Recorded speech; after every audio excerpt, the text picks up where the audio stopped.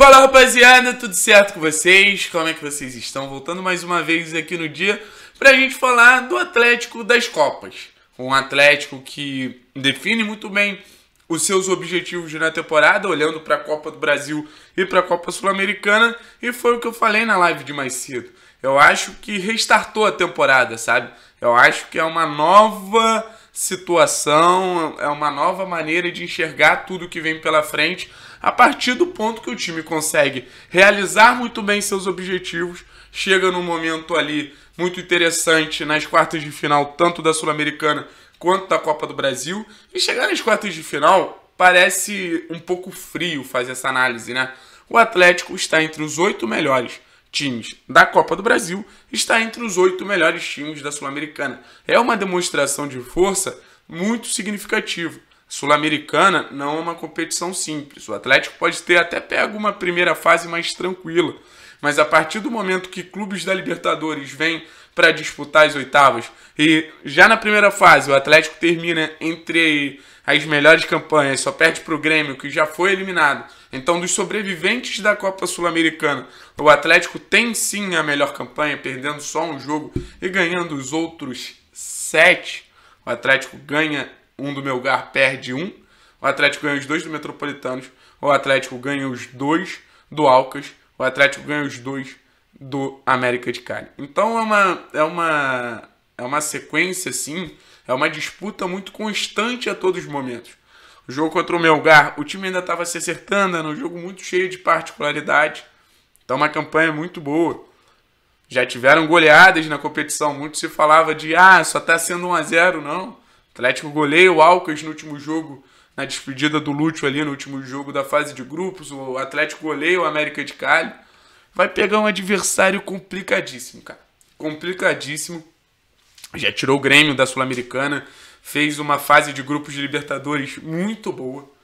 É que entrou num dos grupos mais difíceis da competição, mas a maneira que a LDU conseguiu encarar o Flamengo, poucos times do futebol brasileiro conseguem hoje, sabe? Então não vamos menosprezar. Tem um duelo muito difícil também no chaveamento de, de esporte cristal em Penharol. Então não é, não é que tá, tá tudo tranquilo. A gente ainda vai ter muita dificuldade pela frente na Sul-Americana. A partir de quinta-feira que vem começa, começa a disputa contra a LDU. E a gente vai ter que jogar muita bola. A gente vai ter que ser a nossa melhor versão. Essa versão em que a gente fala dos 12 jogos de Copas e 9 vitórias para passar do time equatoriano que ainda tem o fator da altitude. A gente não tem o Thiago Heleno lá em cima. A gente tem um desfalque bem considerável. Que bom que Abner e Santos retornam. Falando um pouquinho de Copa do Brasil. Copa do Brasil é um cenário que o Atlético entra numa fase mais avançada, afinal ficou em nono no último Campeonato Brasileiro, teve essa vantagem, né? Então enfrenta o Havaí, um Havaí que faz uma boa Série B, um Havaí que é campeão catarinense, e o Atlético consegue se classificar ali sem maiores sustos sabe? O placar foi um pouquinho apertado, no, no total foi 2 a 1 um, mas acho que, que o Atlético em nenhum momento passou perto de perder a vaga. Também acho que não passou perto de perder a vaga para o Atlético Goianiense. Um time de um nível maior, um time de, de Série A, assim, um time para a gente entender que, que realmente a gente pode se complicar contra times piores. Porque eu acho que às vezes existe a visão, Cara, a gente tá pegando um time pior, a gente tá muito tranquilo. E eu acho que é um Atlético que se prejudica demais no excesso de confiança. É um Atlético que poderia ter um pouquinho mais de controle em situações que se exige controle. Controle emocional, controle técnico, controle tático.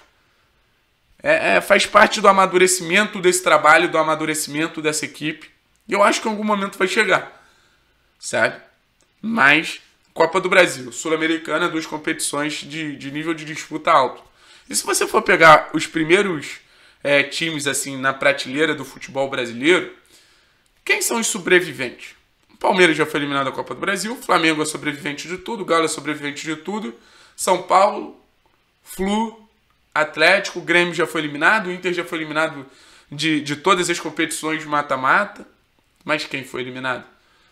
Enfim, você tem Botafogo não conseguindo fazer grandes campanhas, Vasco não conseguindo fazer grandes campanhas, Cruzeiro do Cabeludo não conseguindo fazer grandes campanhas, é, Corinthians não conseguindo fazer grandes campanhas, o Santos já foi eliminado é, da Libertadores, está vivo na Sul-Americana, sabe? Então o Atlético ainda não foi eliminado e ser eliminado desse tipo de competição vem sendo algo muito constante. Mas vamos falar um pouquinho dessa melhor versão do Atlético, cara, porque, porque falar de campo e bola é muito interessante a gente falar de campo e bola. Porque essa melhor versão do Atlético nos resultados nem sempre foi uma melhor versão do Atlético em desempenho. Em alguns momentos foi sim a melhor versão do Atlético em desempenho. Porque se você me perguntar, Thiago, qual foi o, o, o jogo que você mais gostou de ver do Atlético na temporada?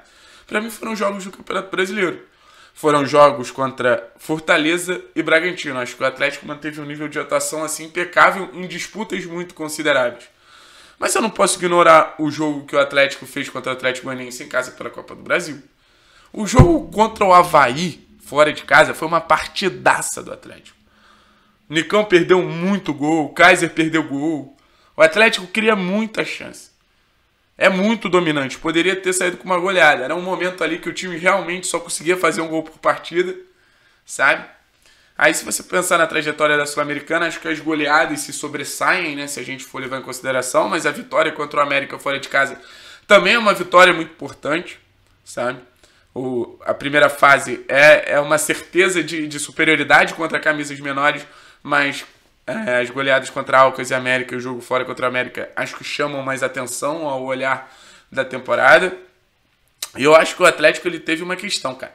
Ele tem esses ótimos números não jogando seu máximo. A gente fez um vídeo mais cedo falando que o Atlético é uma equipe que ainda não alcançou o teto. E realmente não alcançou. Então acho que, que é um time que tem uma perspectiva de melhora. Uma perspectiva de melhora com os reforços que podem chegar. A gente está esperando aí o acerto com Fasson, sabe? E outros nomes realmente devem fazer parte. E levando em consideração, o Terãs começa a disputa da Sul-Americana no Penharol. O Atlético, querendo ou não, em movimentações de janela, consegue enfraquecer um concorrente. Um concorrente que pode ser ali um confronto de semifinal. Quem sabe?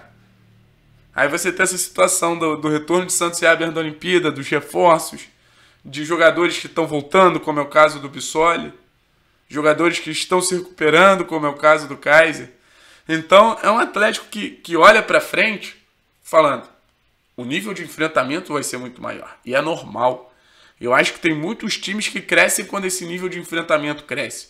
O próprio Atlético de 2019 na Copa do Brasil é um exemplo disso. Ao passar do Flamengo, ganha mais confiança. Ao passar do Grêmio, mais confiança ainda. Chega na final aqui, ó.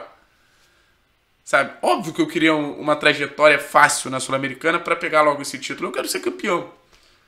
Mas sabendo o nível de enfrentamento que a gente vai ter, é bom você, você ter esse grupo muito confiante no que pode ser feito, sabe?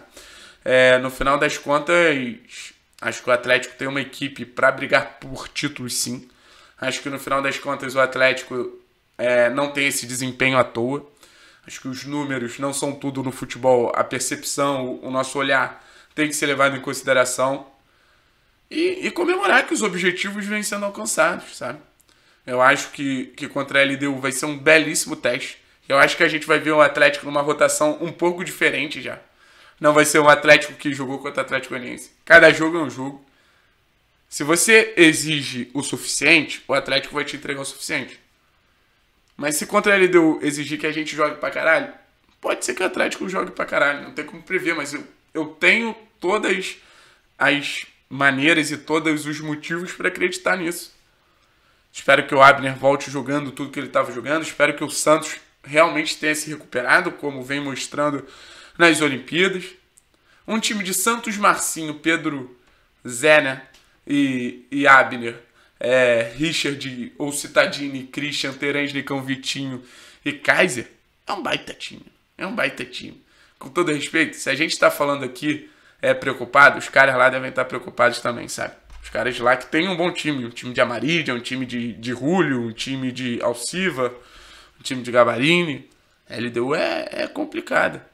Mas se a gente for fazer um balanço até agora de tudo que aconteceu do Atlético em Copas, é um Atlético que acho que ainda não apresentou sua melhor versão, mas também acho que é um Atlético que não foi exigido da sua melhor versão.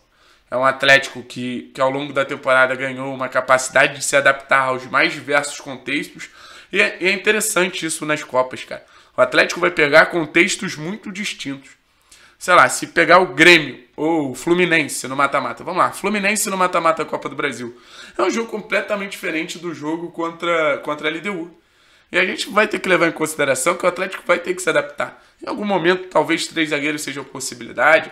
Em algum momento, é ter um jogo mais reativo, outro mais propositivo. Ter os laterais por dentro, sabe? É, ou ter os laterais por fora, ter os pontas como meias, ou ter os pontos realmente como esses externos. O Atlético tem um time bom, tem um elenco bom, sabe como eu vejo? Com a capacidade que o Antônio tem de mudar a equipe e as possibilidades que ele tem. São muitas possibilidades.